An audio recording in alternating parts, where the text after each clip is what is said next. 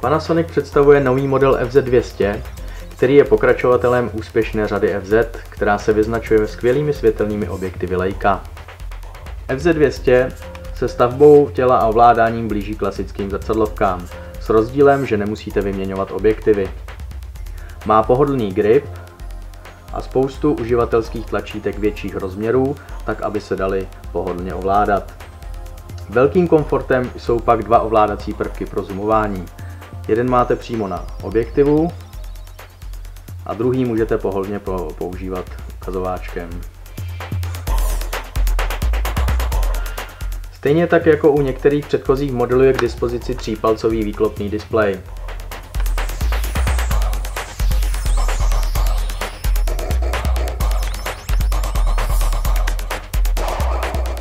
U FZ řady nesmí chybět ani elektronický hledáček s dioptrickou korekcí, tentokrát s vynikajícím rozlišením 1 310 000 obrazových bodů.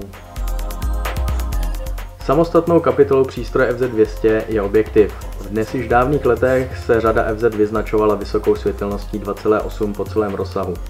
Panasonic se k těmto unikátním skům vrátil a FZ200 disponuje fascinujícím objektivem ekvivalentu kinofilmu 25 až 600 s slonou 2,8 po celém rozsahu. S tímto objektivem se uživatel může věnovat prakticky jakémukoliv žánru fotografie.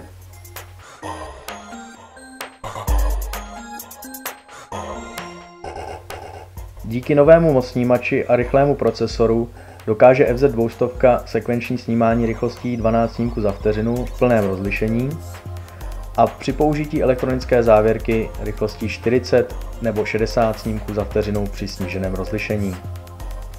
Příznivce videa potěší přítomnost progresivního Full HD s možností zoomování v celém rozsahu a využití připojení externího mikrofonu.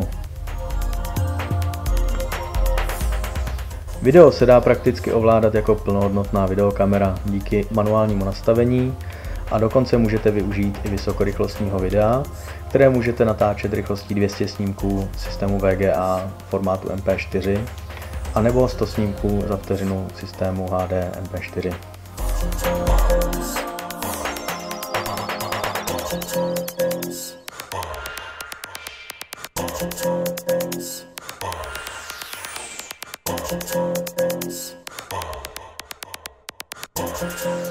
Panasonic FZ200 je nejen fotoaparátem, ale i videokamerou pro náročné uživatele.